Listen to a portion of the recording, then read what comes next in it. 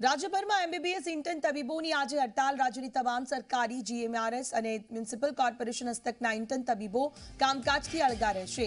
બે હજાર જેટલા ઇન્ટર્ન તબીબો હડતાલ પર ઉતરતા કોવિડ હોસ્પિટલમાં ઊભી થઈ શકે મુશ્કેલી. ઇન્ટર્ન તબીબોની માંગ રાજ્ય સરકાર હજુ સુધી ન સ્વીકારાતા ઇન્ટર્ન તબીબો લડી લેવાના મૂડમાં. હાલ મળી રહેલા સ્ટાઇપેન્ડમાં વધારો કોવિડ ડ્યુટી બદલ ઇન્સેન્ટિવ આપવામાં આવે તેવી માંગ ઇન્ટર્ન તબીબો અનેક વાર રજૂઆતો કરી ચૂક્યા છે. એમબીબીએસ ઇન્ટર્ન ડોક્ટરોને સ્ટાઇપેન્ડ પેટે વીસ હજાર રૂપિયા આપો. હાલ એમબીબીએસ ઇન્ટર્ન ડોક્ટરોને સ્ટાઇપેન્ડ પેટે અપાય છે બાર હજાર આઠસો રૂપિયા. એપ્રિલ મહિનાથી અત્યાર સુધી બજાવેલી ફરજના સમયગાળાને બોન્ડ સમયગાળામાં એક જેમ એક ગણી ઇન્ટર્નશીપ પૂર્ણ થાય ત્યારે તમામ ઇન્ટર્ન તબીબોને બોન્ડ મુક્ત ગણવાની માંગણી કરાઈ છે.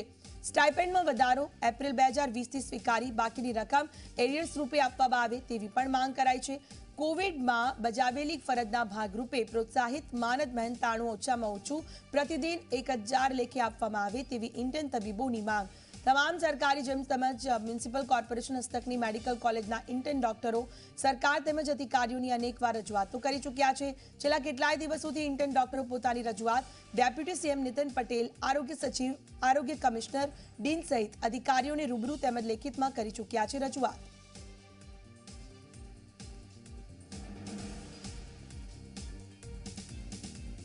અતુલ જોડાઈ ચુક્યા છે મારી સાથે. અતુલ સ્ટાઇપેન્ડમાં વધારાની માંગ સાથે ઇન્ટર્ન ડોક્ટર્સ આજે હડતાલ પર. શું છે હાલમાં? વધુ વિગત.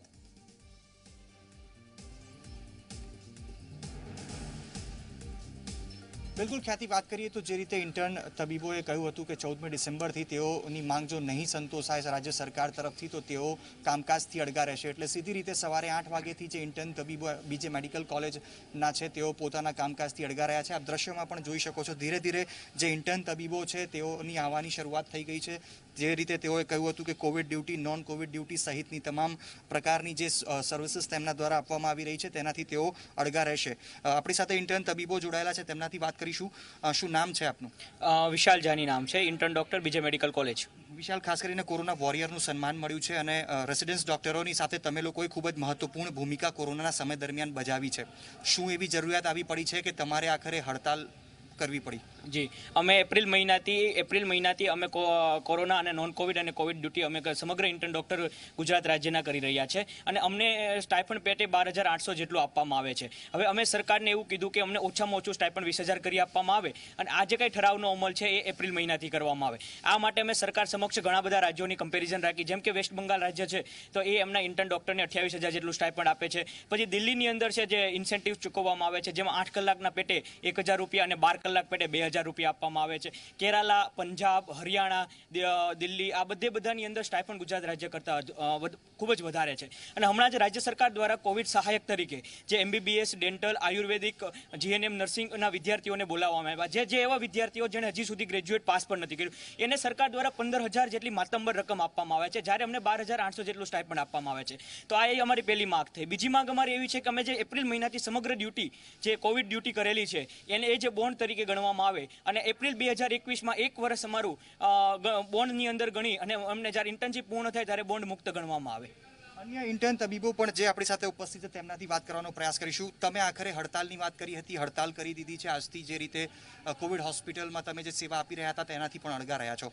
આજે હડતાલ, હવે જો સરકાર હજી પણ વાતચીત નથી કરતી, તો આગળ શું કરશો? કારણ કે દર્દીઓ પણ મોટી સંખ્યામાં છે, જેની એક ફરજના ભાગરૂપે તમારે એ પણ જોવાનું છે.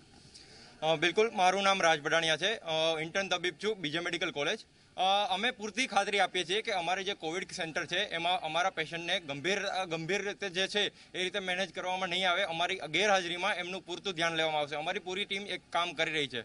બરાબર છે? પણ હવે સરકાર માટે નારાજગી વ્યક્ત કરવા માટે અમે લોકો ભેગા થયા છીએ. જ્યાં સુધી સરકાર લેખિતમાં અમને જે અમારી માંગ છે, એ પૂરી કરવા ન આપે, ત્યાં સુધી અમે સ્ટ્રાઇક ચાલુ રાખશું. અમે લોકો ત્યાં સુધી અમારી કોવિડ અને નોન કોવિડ કોઈ બી ઇમરજન્સી હોય, એ ડ્યુટીથી અળગા રહીને નારાજગી વ્યક્ત કરતા રહેશું. આવી રીતે ભેગા થયા કરશું. જ્યાં સુધી અમને સરકાર તરફથી કોઈ લેખિતમાં નિવેદન ના આવે ત્યાં સુધી. તો લેખિતમાં જે ત્રણ માંગો છે ઇન્ટર્ન તબીબો દ્વારા કરવામાં આવી રહી છે, તેને લઈને તેઓ અડગ છે અને સ્પષ્ટ કહી રહ્યા છે, જ્યાં સુધી સરકાર લેખિતમાં તેઓની ત્રણ માંગ સ્વીકારતી નથી, ત્યાં સુધી ઇન્ટર્ન તબીબો જે રાજ્યભરની કોવિડ હોસ્પિટલોમાં આ રીતે ફરજ બજાવી રહ્યા છે, તેઓની સ્પષ્ટ એક જ માંગ છે કે લેખિતમાં આપો, ત્યારબાદ જ તેઓ પોતાની ડ્યુટી જોઈન કરશે. ખ્યાતિ. અતુલ આભાર આપનું તમામ માહિતી બદલ.